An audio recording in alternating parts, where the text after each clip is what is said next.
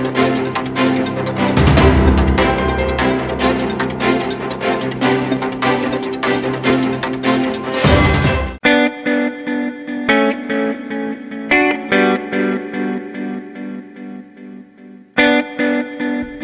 Acara tanam pohon kelor di wilayah Padukuan Ngelanggeran Barat, Kapanewon Patok yang diinisiasi oleh PT Kuparindo dengan Direktur Utama Intan Aprilia yang merupakan warga Kelurahan Ngalang, Gedangsari, Gunung Kidul.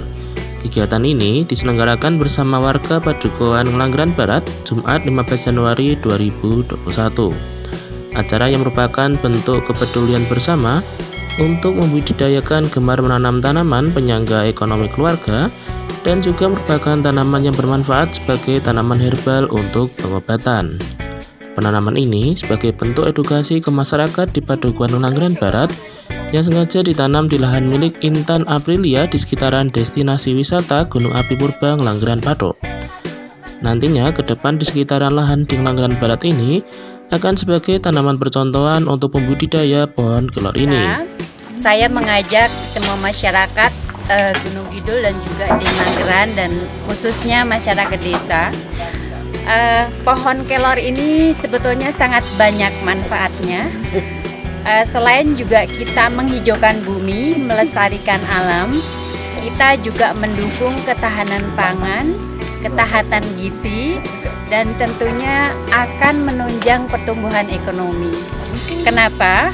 Karena pohon kelor kayunya bisa bermanfaat untuk uh, digunakan untuk ekonomi lainnya, kerajinan, uh, kemudian untuk daunnya ini sangat besar sekali manfaatnya. Kenapa? Karena bisa dipakai untuk sayur, bisa dipakai juga untuk herbal, untuk teh. Jadi saya sempat ketika waktu itu saya mendampingin uh, orang pengobatan ke Jerman resep dari profesor doktor ini disarankan minum teh dan sayuran dari daun kelor.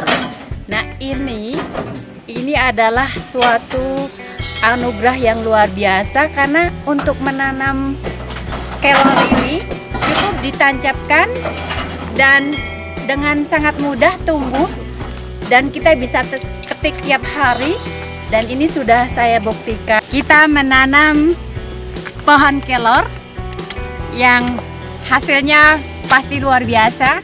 Dari kayu dari manfaat daunnya dan untuk memberikan gizi ketahanan pangan dan juga menghijaukan bumi anti global warming.